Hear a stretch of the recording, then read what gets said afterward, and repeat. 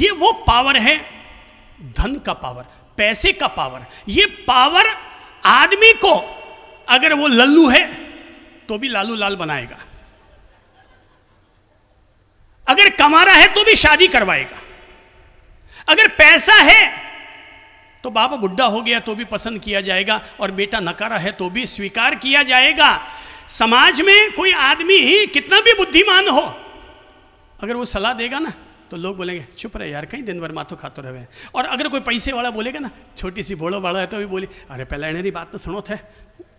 ए कहीं कहवे ये है धन की इज़्ज़त, ये है धन का सम्मान, इसलिए मैं कहूँगा मनी पावर बढ़ाओ। यहाँ पर गृहस्थ भी वही पूजा जाता है, जिसके पास मनी पावर है, और संत भी वही सम्माननीय होता है, जो समाज में मनी पावर बढ़ाने का काम करता है।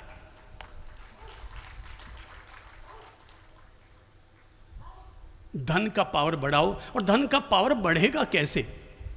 मैं कहूँगा, मेरा एक सिद्धांत सीख लो और वो है मल्टीप्लाई क्या है मनी पावर बढ़ाने का नुस्खा?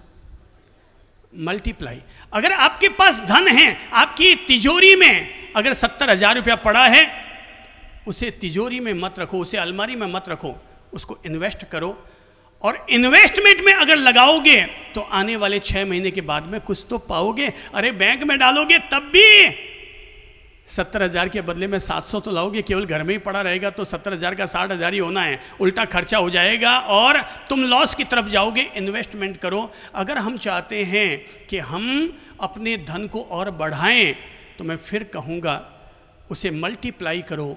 कैसे? जैसे जैसे मान लीजिए कि अपन लोग दिन भर फल खाते हैं मल्टीप्लाई कैसे करेंगे?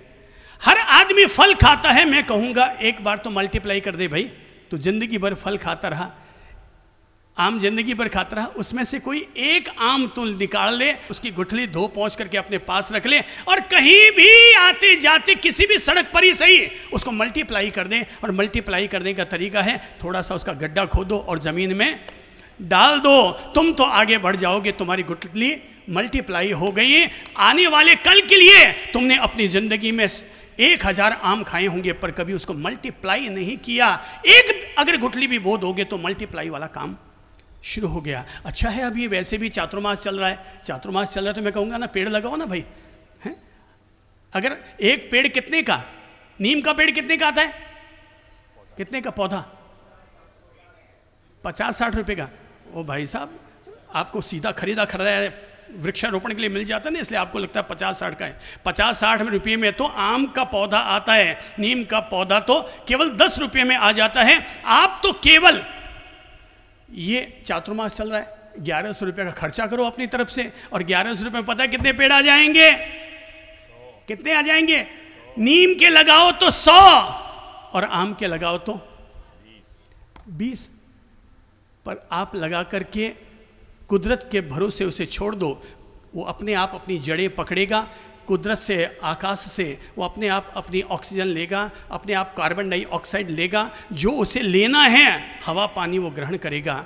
आप तो लगा कर चले गए, पर वो आपके आने वाली जो पोती बाईस है ना, जो उस रास्ते से गुजरेगी, बोले, अरे यार, बहुत गर्मी है, बहुत गर्मी है। पर वो जो आपने आम का और नीम का जो पेड़ लगाया है, वो वहाँ आकर के छाया पाएगी। बोले हाँ भाई, किसने लगाया ये पेड़? भगवान उसका भला करें, क्योंकि उसकी वजह से आज मुझे छाया मिल गई। उसकी वजह से मुझे छाया मिल गई। आप तो दादा सा हैं कि दादी सा हैं, अगर आप चाहते हैं कि आपकी पोती को छाया मिले तो हर आदमी एक पेड़ ज़रूर लगाए। ये पुण्य ज़रूर कमाए। हर आदमी पेड़ लगाए। कितने लोगों को लगता है कि हमें पेड़ लगाना चाहिए? कितने लोगों को लगता है कि हमें? अच्छा वेरी गुड ये तो आपने बता दिया कि हमने, हमें पेड़ लगाना चाहिए। अब कितने लोग ये मन तैयार कर सकते हैं? अपने सेल्फ इम्प्रूवमेंट के लिए कितने लोग मन तैयार कर सकते हैं? हम इस चातुर्मास में ज़्यादा ना सही पर एक पेड़ तो हम ज़रूर लगाएँगे। कितने लोग हैं? कितने लोग हैं जो ये मन बना सकते हैं कि ये गौशाला बनाने से भी उतना ही पुण्यकारी है, विद्यालय बनाने जितना ही पुण्यकारी है। देखता हूँ वापस दोबारा हाथ उठाइए तो कि हम इस चातुर्मास में ज़्यादा ना सही, पर एक पेड़ तो हम ज़रूर लगाएँगे ज़रूर लगाएँगे ज़रूर लगाएँगे। चलो बोल के दिखाओ तो हम इस चातुर्मास में एक पेड़ ज़रूर लगाएँगे। हाथ ऊपर करके बोलो, एक पेड़ ज़रूर लगाएँगे ज़रूर लगाएँगे।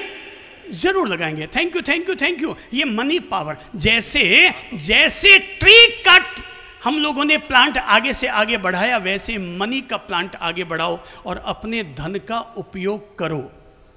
केवल उसे रखे मत रहो। उसको मल्टीप्लाई कैसे किया जा सकता है? घर के पाँच सदस्य इकट्ठे होकर बैठो और बताओ, मेरे पास साठ हज़ार है, मेरे पास बीस हज़ार है, मेरे पास तीस हज़ार है। अपन इसको आगे कैसे बढ़ा सकते हैं? हमारी अपनी एक बच्ची रही है कल्याणी दुग्गड़। तो पूना की बच्ची थी। पापा ने उसे ले जा कर के पचास हज़ार रुपये दिए। बोले, बेटा, ये अपने पास रख ले। उसने कहा, पापा जी, वापस कब लेना है?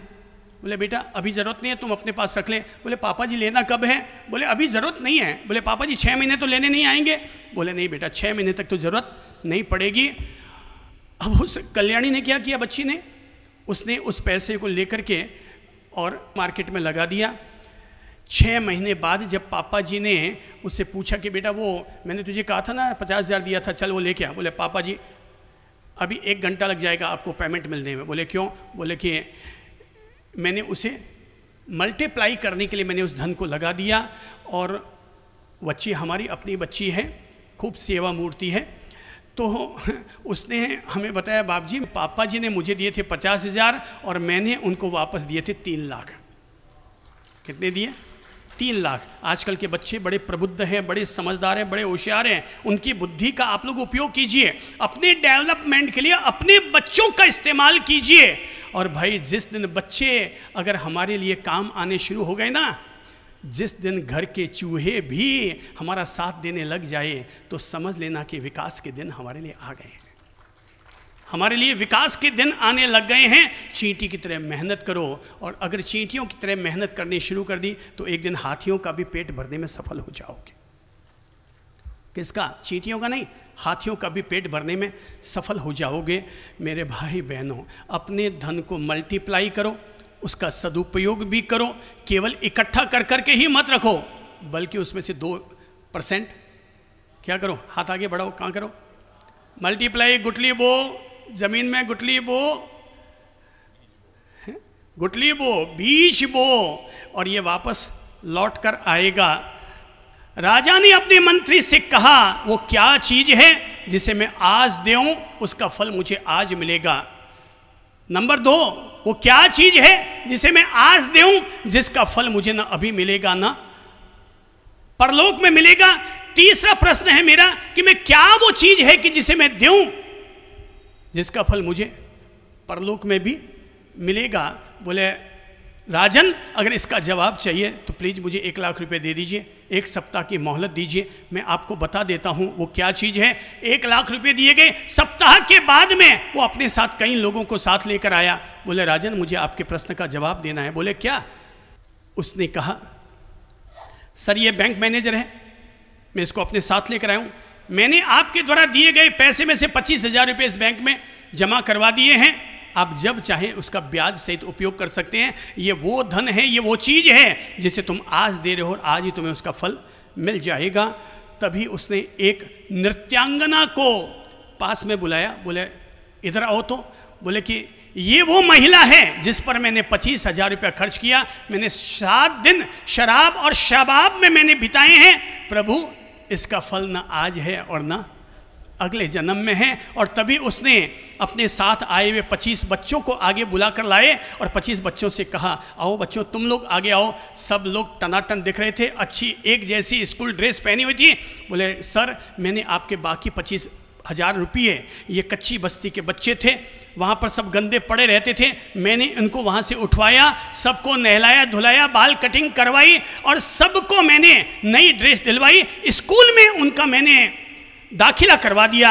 आज ये स्टूडेंट बनकर आए हैं। ये बाकी मैंने पच्चीस हज़ार इन पर खर्च किए। प्रभु, ये वो चीज़ है जो आपके परलोक में भी आपके काम आएगी। सर, ये पच्चीस हज़ार बाकी के बचे हुए हैं। अब आप ही बता दो कि मैं ये पच्चीस हज़ार किसमें लगाऊँ?